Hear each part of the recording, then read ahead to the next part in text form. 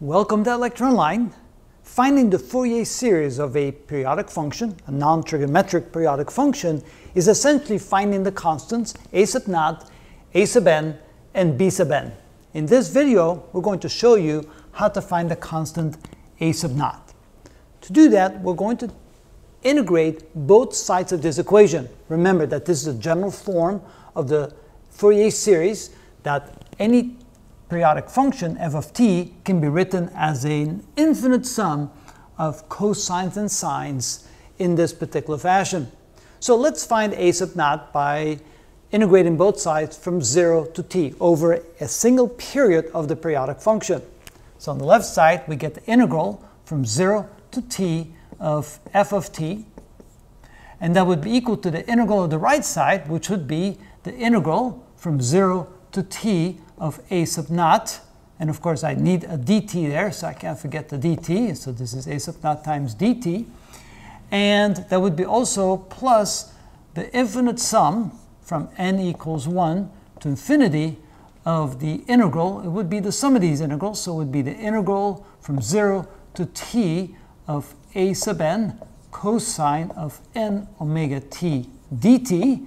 Let me put a bracket around it like this, plus the sum from 0 to t of b sub n times cosine, oh, not cosine, this one is the sine of n omega t dt. Let's close brackets.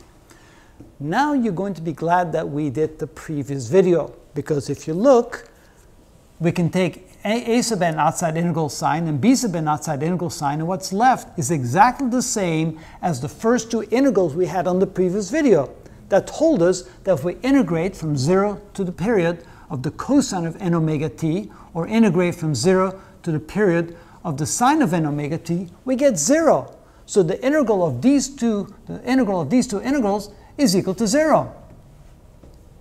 Which means that this is all that we have left. That means that the integral from 0 to t of f of t dt, and of course we can't integrate that yet because at this point f of t can be any periodic function, is equal to this. So this is equal to a sub naught times the integral of dt, which is t evaluated from 0 to t. If we plug in the upper limit, we get a sub naught times the period. Plug in the lower limit, we get 0. So this means that the integral from 0 to t of the periodic function, of which we're trying to find the Fourier series, times dt is equal to a sub naught times t. And solving this for a sub naught by simply dividing both sides of the equation by the period and then rearranging the equation, we can say that a sub naught is equal to 1 over the period times the integral from 0 to the period of the periodic function in question times dt. And this integral then will give us the constant term of that periodic function.